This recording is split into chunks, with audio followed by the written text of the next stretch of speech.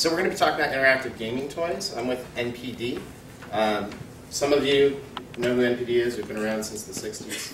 Flower power, that stuff. Um, the uh, other folks of you might be in mobile and haven't heard of us as much. We're very much focused on the retail space, but we do have quite a bit in the works this year actually in mobile uh, tracking, longitudinal tracking. So if anybody's interested in that, just come talk to me. But that's not what I'm here to talk about today. Here to talk about toys to life or interactive gaming toys. So I circled here uh, in terms of tracking the market. Uh, toys represents a $24 billion industry, and video games is right behind at a $22.4 billion industry. Uh, and these are all the industries that NPD is currently tracking. To set things up, I wanted to talk about, uh, this is from our Kids and Gaming uh, study, which actually is going to be coming out in a few weeks.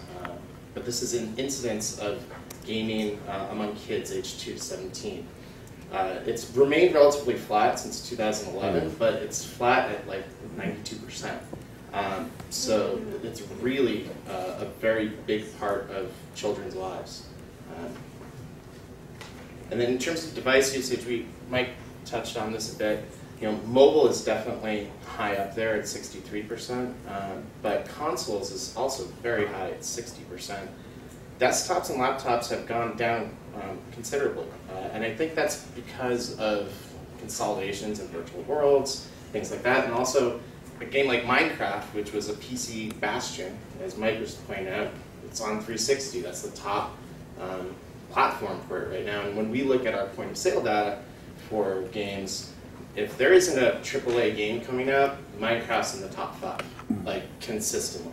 Um, it's an incredibly powerful um, franchise on consoles. Um, within mobile devices, the trend for it actually is very flat.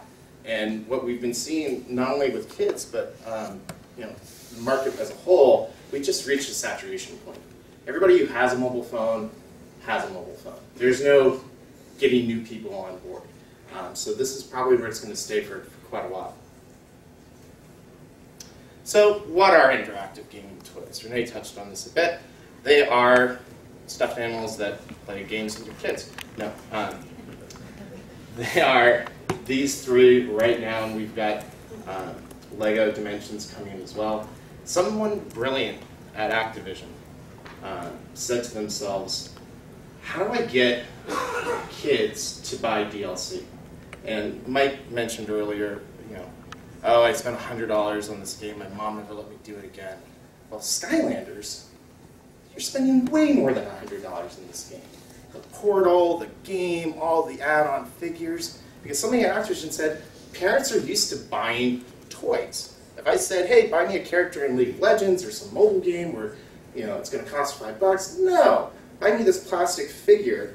Oh, sure, let's do that. Let's put that in your stocking. Like, parents could get behind that. There's a, a, a, a lack of being able to binge purchase DLC. It's very controlled and there's toys, they can play with them before and after. And Skylanders built this franchise off of a character called Spyro, who most everybody probably didn't hear of before Skylanders came out. It wasn't a Sonic, it wasn't a Mario, it wasn't you know Steve from Minecraft, it was Spyro. A very small yet lovable Vivendi character that got brought over.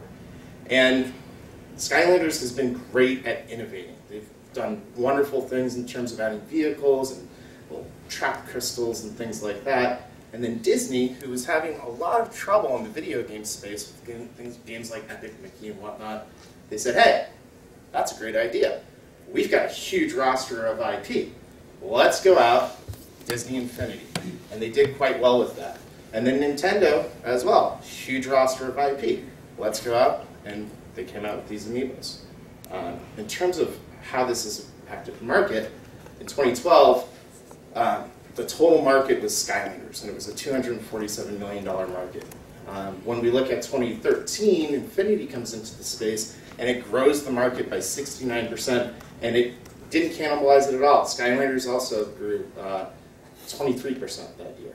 But in 2014, we all say, oh, has it peaked? Have we, have we reached the pinnacle here? Because the total market only grew 5%, Skylanders dropped 28%, and Infinity grew 69%. So what we're seeing here was the beginning of an IP problem. Somebody comes into the store with their kid, Baymax, Captain America, Spider-Man, the Mickey Mouse, all of these cool, cool figures, and then you've got Rock Guy. I don't know who that is, but yeah, there he is, and you can buy him if you want. Um, but Skylanders has done a tremendous job maintaining retail space. I went to Toys R Us this weekend in preparation for this. They've got huge, huge Skylander displays compared to the foot space that, or the shelf space that uh, an Infinity or even an Amiibo has. So they are maintaining um, dominance uh, through volume and through affinity from the years before Infinity or Amiibo were even in the market. Uh, but year to date, it hasn't peaked because year to date, we're 24% up uh, in terms of dollar spending for interactive gaming toys. And Skylanders has started to turn things around a bit there as well. What's the Amiibo number it's cut off? Uh, 27. Okay. Sorry. And this data is all from our point of sale retail data. You can take this to the bank. This is all that. Uh, so let's look at shift and show because it's all about who's winning and who's losing, right?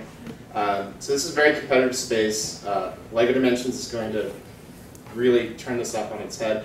I don't understand how many more players can come into the space just from a retail shelf perspective. The, the, these items are in the electronics section with the video games. There's only so much shelf space. I don't know where they're going to put LEGO Dimensions, but they're going to have to find space because I need to buy one. But it's, it's definitely uh, it's, it's a question mark. Uh, but so here, uh, in right before Infinity launches, you can see. Ah, you can see here, um, Skylanders is king of the hill, and here comes Mickey and friends, and they take over well. But oh, Skylanders is back. Well, here comes Marvel, and then Skylanders is back, and here comes, or maybe this is uh, Baymax. And here comes Marvel. Uh, but then here starts to come into Amiibo in terms of dollar share and how they're taking over things. And what's really impressive is for Infinity and for Skylanders, that's Xbox, that's PlayStation, that's PC. Hmm. This is just Nintendo. Um, and that's what they're doing to the market, which is, I always have to put the caveat in because it's really amazing when you think about they're on one platform. So current players uh, playing IGT. While children are the main player of the game, 90% have a child uh, playing currently. Uh, half, 52%, indicate that adults in the household are playing as well. So this is, I think, is something that's probably come across in the last five to 10 years, but gamers are now parents, and they want to play games with their kids. Right here, two kids, play all the time. Um, and, you know, so this is an opportunity for them to, you know, bond and, and, and do things with their kids, and especially when we're getting into these branded items. I collected comics, I want to play Marvel, I'm huge into Star Wars, let's go get Luke Skywalker, let's do this stuff. And that, I think, is where Skylanders is going to have a really big problem. Um, so much so that on the Wii platforms, they're actually taking amiibos and making them playable in Skylander with uh, Donkey Kong and Bowser. So they recognize that IP can drive a lot of this thing, but you know, making partnerships, I think, with like and Hasbro could be a huge um, boon for, for uh, Skylanders. Uh, so uh, here we see in terms of, sorry, getting off a tangent, but uh, we see this is the adults, it's children, and I'm sure um, with the exception of Amiibo, which I'll get into, um, this is kids and adults playing together. So adult player profile, uh, adult players are more likely to be female, and they're also uh, likely to be young, half considered being millennial age. Um, the other thing here is uh, collectibles. Uh, you know what? Let me go back one slide. On the adult side, the reason why I mentioned Amiibo being, uh, I don't have a slide on it, but it does skew more adult, and the reason for that is Amiibos play across all games that are first party for Nintendo, or most all games. So they do have adults playing Smash Brothers, a very adult um, or young adult, uh, young adult, maybe in my 20s, because I'm 38. Uh, but uh, you have an adult player playing these in um, different games, whereas the Infinity and the Skylanders are those playpens, those toy boxes, very kid-centric. The amiibos can go across lots of different titles.